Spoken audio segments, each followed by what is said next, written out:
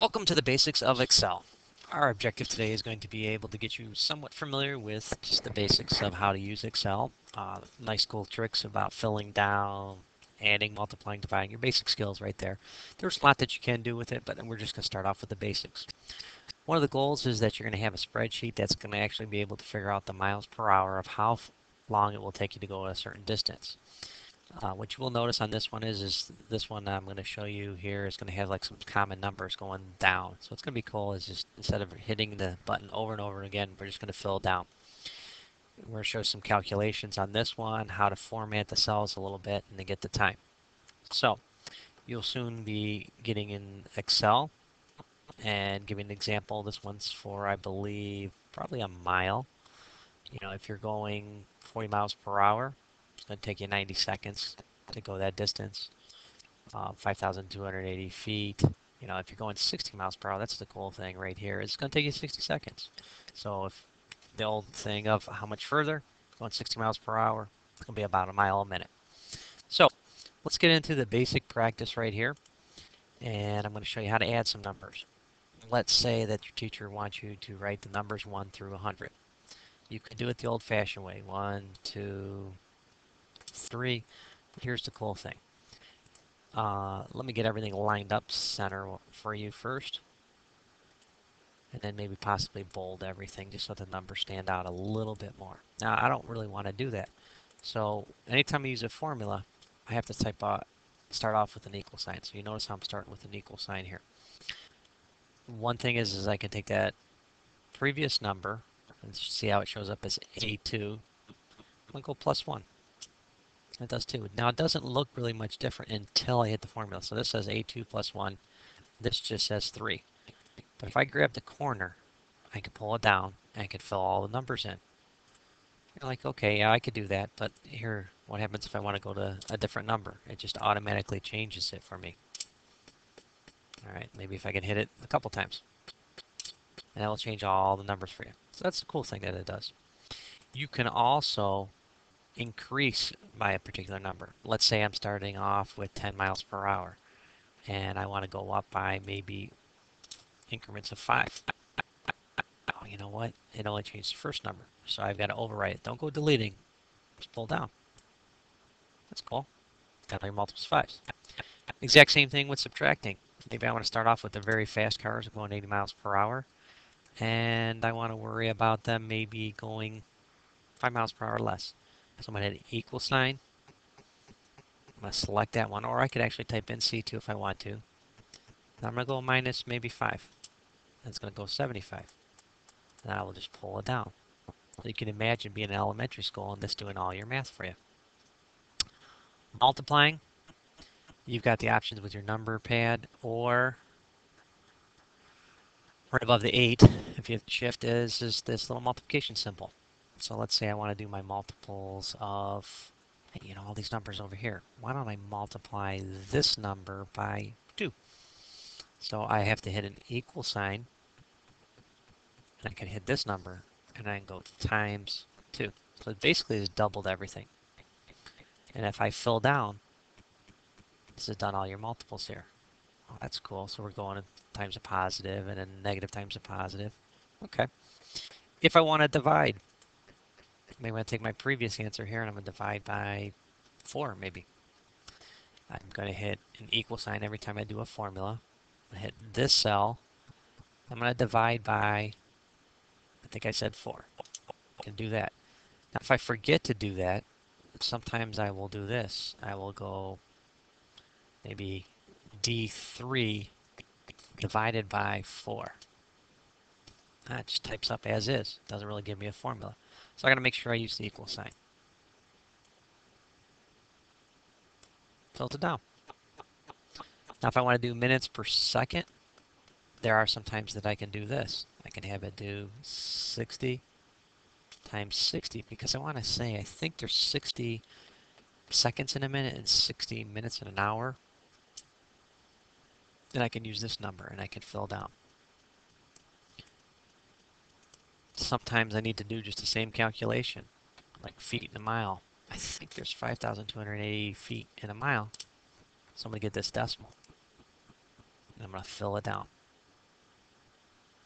Okay, so I just took you through the basics of the multiplication, subtraction, addition, division. Also, sometimes you are going to get things that just aren't going to look right. So one of the things that's going to happen common is, is go to format cells. When you format the cells, one of the easy things to do is go to the number. If I only want two decimal places, wait a second, that came out to be a zero. I don't really want that because look, I got the three zeros here. Let me go back to format cells and maybe let's go to five places. Okay, so that's a little bit. So it's going to adjust my answers right here. So if I go down a little bit, it's going to change it a little bit, which is not necessarily a problem, but sometimes with your formulas, you might need a little bit more accurate. So choose a spot that you think is comfortable, and then you just fill down. You could do that if you wanted to do these numbers in money for any particular reason.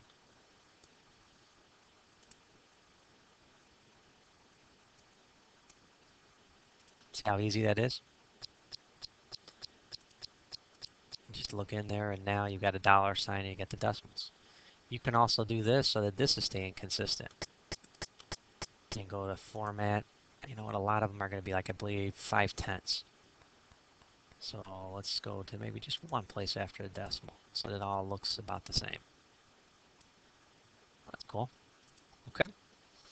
So what you're going to eventually do is you're going to have one that's going to look like this. But you're going to do time, distance, an hour, etc. So I can take you through how to do this. And also, see if we have one that is possibly empty. These all seem to be filled.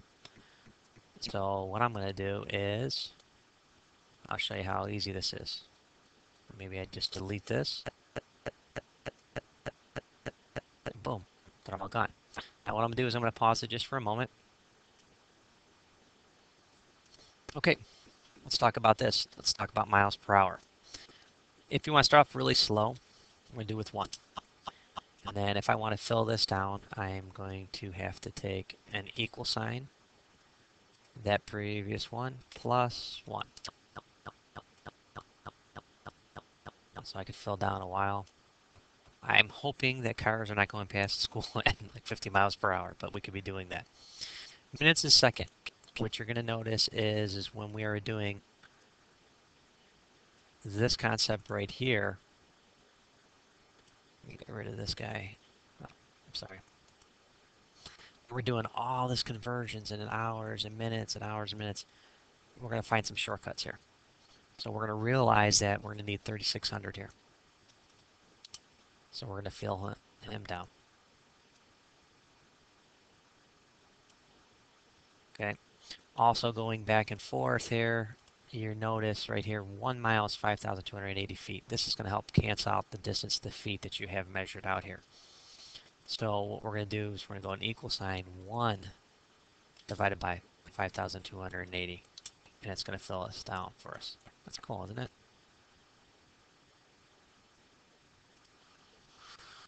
Distance. Well, let's set up a distance. Probably like 200 feet is, is going to be a good distance here to, to test the cars. I mean, you could do this near your house, your apartment, and you could find out if those cars are speeding through your neighborhood. Hours and miles. Gosh, how do I do that? Well, sometimes I look at other things. I say, okay, that's going to be a decimal, so I believe I'm probably going to have to do a little bit of division here. Okay, how do I do this? An hour and a mile. Hmm. Let me go back. You know what? Let's cheat a little bit.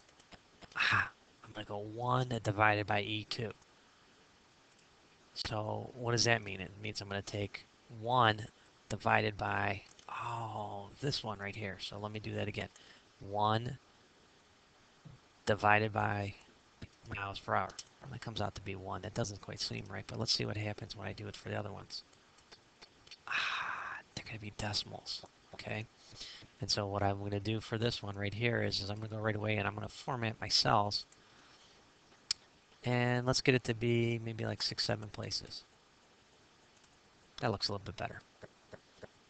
Minutes, minutes, minutes. Gosh, I really wasn't paying attention. How do they do the minutes here? If I look at the other one here, I've got to go over just a little bit. Distance doesn't have it right there. Let's go with the time here.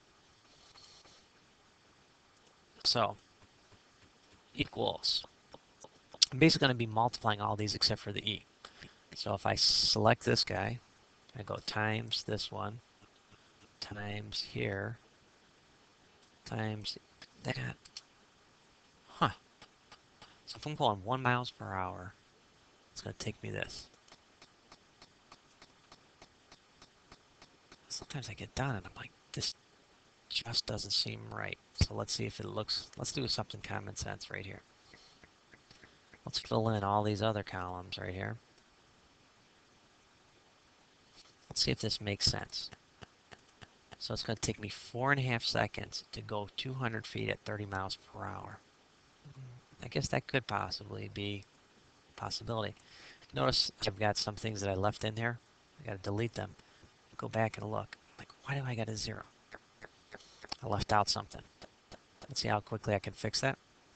So this is a very, very, very quick basics introduction of this one, and I hope that this was helpful to you.